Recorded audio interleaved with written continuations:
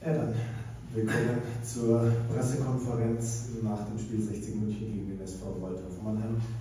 Endstand vor 15.000 Zuschauern im ausverkauften Grünwalder Stadion 3 zu 1 für 60 München.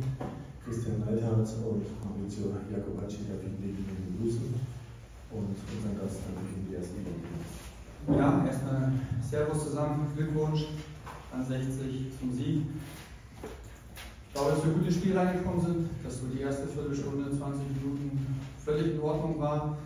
Haben auch die Möglichkeit mit dem Kopfball von Segan an die Latte und habe so das Gefühl gehabt, wir sind richtig gut drin. Und dann fällt irgendwie aus dem Nix das 1-0, das wir eigentlich selber einfach klären können, ziehen da den Kopf weg und haben dann eine Phase, wo wir die komplette Kontrolle verlieren. Ähm, zweimal Pfosten, weitere zwei Tore die Situation von Halbzeit mit, mit Frido Wagner, dass wir da Glück hatten, ähm, es hätte zum Spiel gepasst in der ersten Halbzeit, dass du 3-0 zurückliegst und dann vielleicht mit 10 Mann weiterspielen musst. Dieses Glück hatten wir gehabt. Ähm, und das ist in der, in der Summe, das, was wir uns in der ersten Halbzeit eingerissen haben, schwierig in der zweiten Halbzeit wieder gut zu machen. Ich habe den Jungs gesagt, dass es jetzt auch mal darum geht, Charakter zu zeigen, Charakter zu zeigen unabhängig vom Ergebnis in der zweiten Halbzeit Fußball zu spielen. Und das haben wir gemacht. Zweite Halbzeit hat 60 sicherlich mehr verteidigt und haben das Ergebnis verwaltet. Ähm, aber wir haben in der zweiten Halbzeit dann trotzdem Ball laufen lassen, wir haben weiter Fußball gespielt. Ähm, haben, haben das Tor gemacht, ähm, auch wenn es ein Elfmeter war. Ich glaube auch an ähm, Winkler, äh, der steht auf der Linie. Ich glaube auch da hätte es den Elfmeter geben können in der Situation. Vielleicht wäre es dann halt auch nochmal spannender geworden hinten raus. Aber das, was wir uns in der ersten Halbzeit eingerissen haben äh, in der Phase, das ist schwer zu kitten gewesen.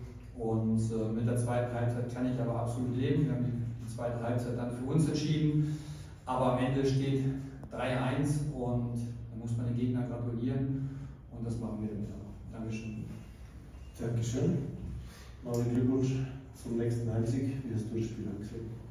Ja, ich, äh, ich kann eigentlich äh, nicht viel mehr sagen, als der Christian da jetzt äh, das Spiel beschieden hat. Ich glaube, er, er hat das Spiel auf den Punkt gebracht und ja, also effektiv, die, die erste Halbzeit ist so, dass wir die erste Viertelstunde ähm, nicht so reingekommen sind ins Spiel, wie wir uns das gewünscht haben.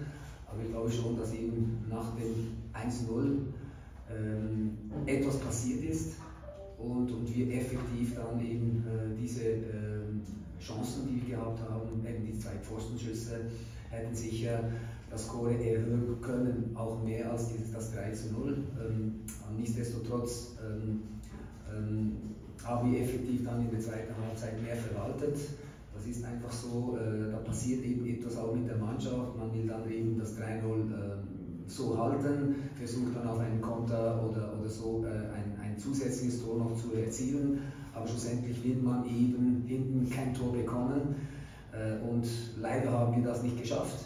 Aber äh, ich glaube, ich kann der Mannschaft wirklich ein, ein großes Kompliment machen, was eben in der ersten Halbzeit geleistet wurde und dann in der zweiten Halbzeit eben verteidigt wurde. Und man sieht dann eben doch, was für eine Qualität Waldorf Mannheim hat Platz und auch auf der Bank.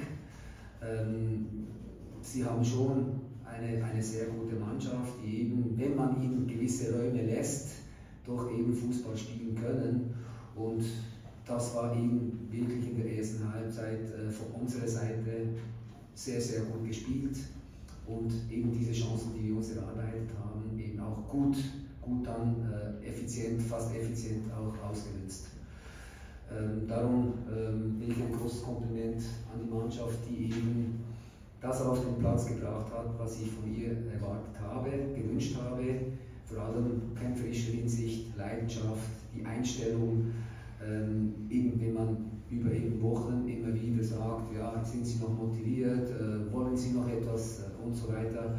Heute haben wir gezeigt, nicht nur heute, auch vorher, dass die Mannschaft lebt, dass sie wirklich umsetzt, was von ihr verlangt wird. Und ähm, ja, es hat Spieler, die heute verabschiedet wurden, Ähm, es ist immer ähm, mit einem weinenden Auge, weil ich habe es wirklich mit jedem Spieler sehr gut gehabt. Ich habe mit ihm wirklich gerne gearbeitet und ähm, ich möchte mich an dieser Stelle bei allen wirklich bedanken, für, mit was für einem Einsatz eben sie äh, diese zweieinhalb Monate, fast drei, mit mir äh, gehabt haben. Und äh, es ist nicht selbstverständlich in dieser Situation, aber alle haben mitgezogen und, und das ist äh, aller Ehren wert. Und äh, darum noch einmal hier an dieser Stelle äh, danke, danke wirklich allen Beteiligten, ähm, weil sonst wären wär diese Resultate, die wir jetzt erzielt haben, in der letzten Zeit nicht möglich gewesen.